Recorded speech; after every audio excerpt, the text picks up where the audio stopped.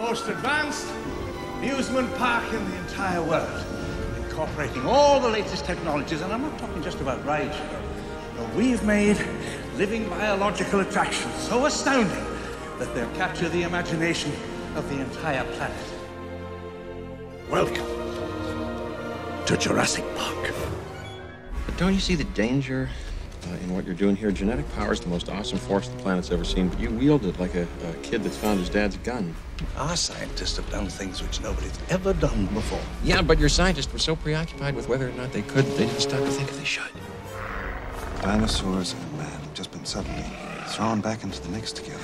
How can we possibly have the slightest idea what to expect? What now? Fences are failing all over the park. I can't get Jurassic Park back online. And we have control again. You never had control. I was overwhelmed by the power of this place, but I didn't have enough respect for that power, and it's out now. Life will not be contained. Life breaks free, it expands to new territories, and it crashes through barriers painfully, maybe even dangerously. But I'm simply saying that life finds a way. I found a way. I think we're back in business. Think they'll have that on the tour?